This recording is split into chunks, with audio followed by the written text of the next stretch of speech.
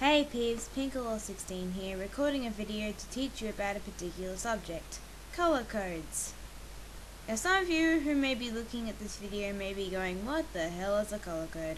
A color code is a set of numbers and letters that change what Mario's colors are in Super Mario 64, mostly on emulators like Project 64 through a cheat code.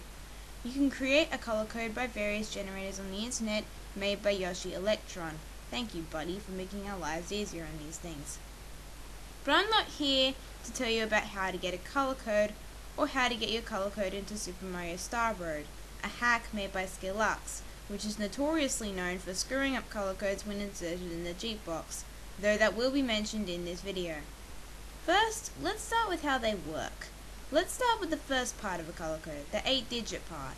The first number is 8, and that's to tell the code is for the Nintendo 64, or emulator of Nintendo 64.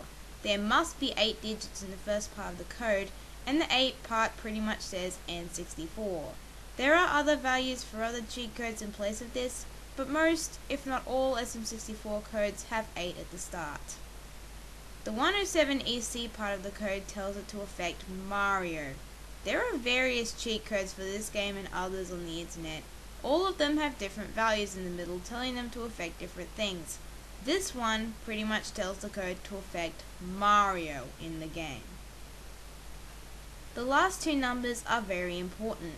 These two numbers tell the code what part of Mario to affect. There are six changeable parts of Mario in a color code you can change. The overalls color code, the gloves color code, the shoes color code, the face color code, the hair color code, and the cap and shirt color code which affect both parts. You cannot have a cap and shirt code separate unless you are really, really good at hacking. But a basic color code has all of these things affected. Each of these work in a specific order of numbers of what part to affect. Overalls come first while hair comes last in a full color code. These numbers pretty much tell the code what one of the six parts to affect. These numbers are important if you want to get your color code into Super Mario Star Road, the Skelux hack I mentioned earlier. In that game, the parts have different values. If you insert a Super Mario 64 color code into Super Mario Star Road unchanged, it's going to look like a differently shaded version of Mario. This is because the number values for the parts are way higher than they are supposed to be. Instead, we have to do some math and minus 20 from the first number on the two digits of the end. The second number or letter stays untouched. If you want more information on how this trick works, check into the fourth dimension. The trick is mentioned in part 10. For example, an overalls value may be 22, but to put it into Star Road it has to be 02. It mostly works fine until people get to these babies. Remember when I said that there has to be 8 digits in the first part of the code? It can't insert 10 because 10 is a 1 and a 0. Instead, the code puts A as a placeholder for 10. What's 10 minus 2? 8. So these turn into these. Now, the first part of everyone's color code is the exact same unless you're using a power code, which I don't know why you would because the generators start with the default NTSC and the USA ROM is easier to find and much more accessible to use with color codes even for an Australian like me who uses PAL for TVs and stuff. But everyone's first part of the color code is the exact same no matter whose you're looking at, whether it be Starman 3s, Mario Mario 54321s, or even Video Game Guy 101s. Now for the 4 digit part, and this is extremely easy. This is the actual color part of the code. There are so many values and I don't expect you to remember them all. Because seriously, how can anyone memorize every single color from this thing seen on a million programs that use colors? Even I don't. But there is one value I would like you to remember for every single part of the code if you see it. 0000. Zero means no color, and four of them is black. Pure black. Whenever you see eight lines of this value, that part of the code is pure black. Think of it like a tube of lollies. The 8 digit part of the code is the case that holds the information on what it is, and the 4 digit part are the lollies, they're different all the time. Or the 8 digit part is the cake, and the 4 digit part is the icing and sprinkles, which are different every time. Color codes work similarly to these things. Now that we know how color codes work, let's go over a technique I mentioned in my update video that was uploaded on my birthday. I mentioned a technique called body color part transferring and I'm sure none of you knew what I meant. The thing is, the four digit part of the color code is a color. It applies to all parts of Mario. The same color is not a different set if it's on the gloves or shoes if it was originally on the overalls for example. Instead, to do this technique I'm mentioning, you get the part of the code you want to transfer the color to and insert the color values into that other code. Like say you wanted my cap and shirt color, but you wanted it to be on the shoes. All you need to do is to get the shoes code and insert the 4 digit values in the shoes part of the code and voila, it's the exact same color, only on the shoes. Each color value that isn't black has two lines of 4 digits that are repeated every second line. So you end up with codes looking like this in every single color code. Black, pure black, is repeated across all 8 lines with no other digits, which is why it's pure black. These color values work exactly the same regardless what part you put it on.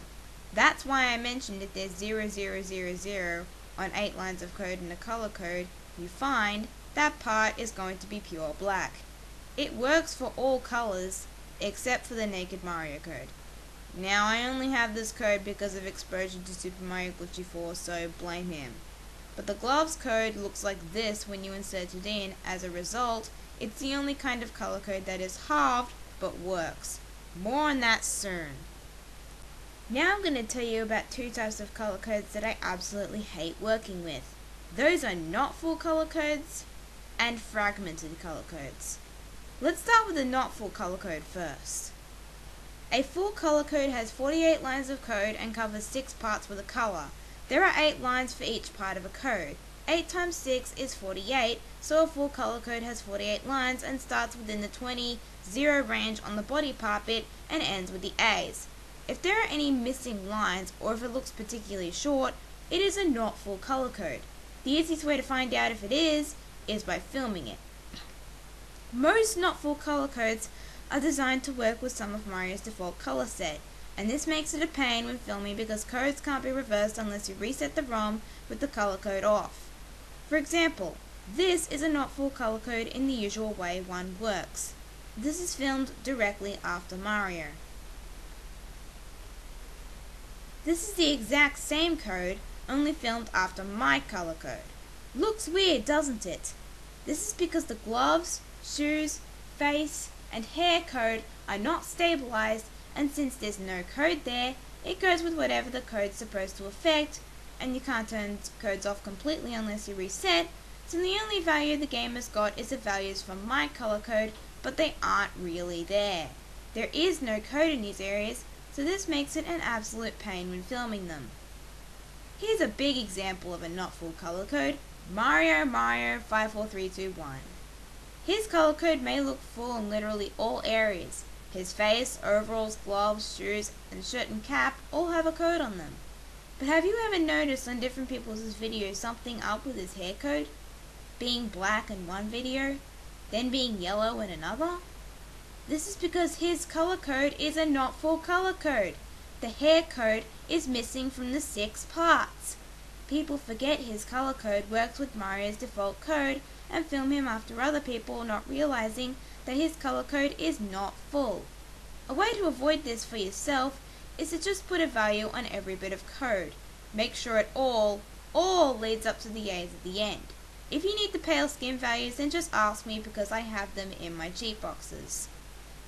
Now for fragmented color codes, which work similarly to not full color codes, but in a worse way. They're rare to come across, but awful to work with. These color codes require Mario to even have the color looking normal. Let me show you. This is Wario's color code, the one I found on the internet and the one Mario Mario 50321 uses. This is filmed directly after Mario's default color set. This is the color code after filming my color code.